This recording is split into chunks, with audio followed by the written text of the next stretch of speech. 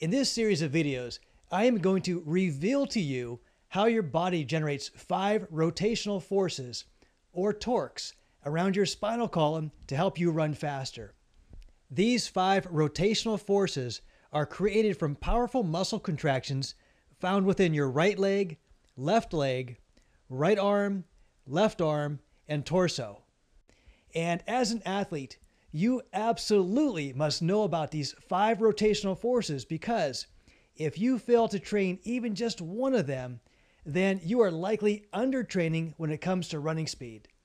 And if you are undertraining, then it is safe to say that you will not run as fast as you were meant to. So I want to encourage you to watch the rest of this first video because not only will you learn about the first torque involved in running faster, but many of you are also going to start to see just how limited and perhaps just how narrow your speed training focus currently is.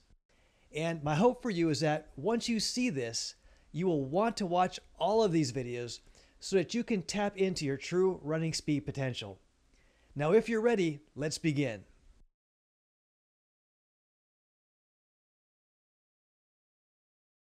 Torque is defined as any force that causes rotation, and for our purposes here, we only need to concern ourselves with the direction of this rotation, which can either be clockwise or counterclockwise. So for example, if we were looking at the face of a clock and apply a force to the minute hand in this direction, it will cause it to rotate in the clockwise direction.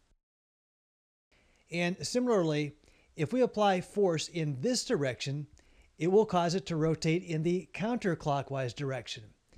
That's easy enough, right?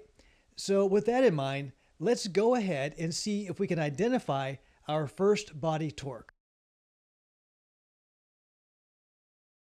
In this figure, we are going to draw just three simple lines on our athlete so we can start to envision where these torques will act on the body.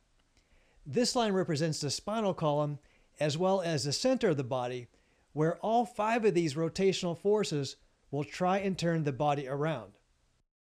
This line is drawn across the shoulders and represents where the arms are attached and where they will try and rotate the upper body around the spinal column. And this one is drawn across the hips and represents where the legs are attached to the pelvis and is where they will try and rotate the lower body around the spinal column. Now the first torque that we are going to talk about will come from the right leg through the right hip.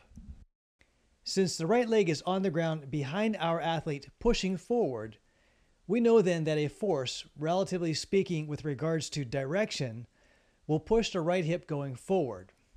Now, if this were the only force acting on the body, the question then is this. Which direction, if any, will it cause our athlete's hips to turn? Well, the first thing to take notice of here is that with respect to the spinal column, the force is coming from the right hip, which is displaced to the right of it.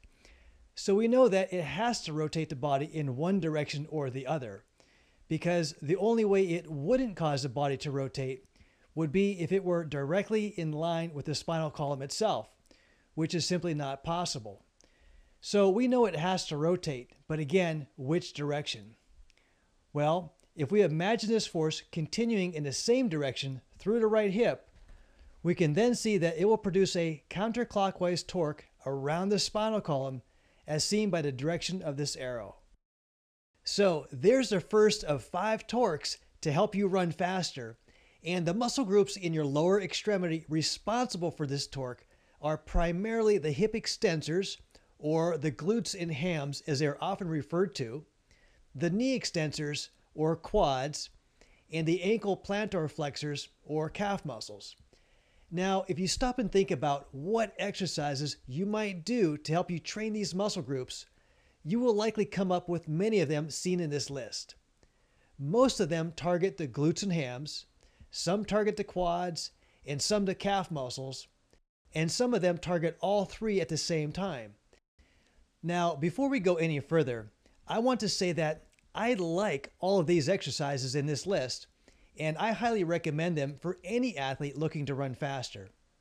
In fact, you could even say that this list of exercises is foundational to many training routines.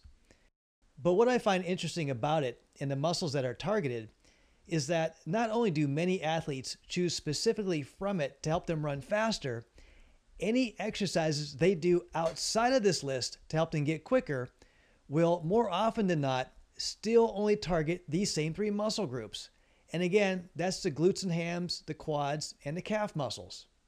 So while they may look to create a variety in their routines to help them find that elusive speed training breakthrough that they've always wanted, they usually never seem to break away from training any one or more of these three muscle groups.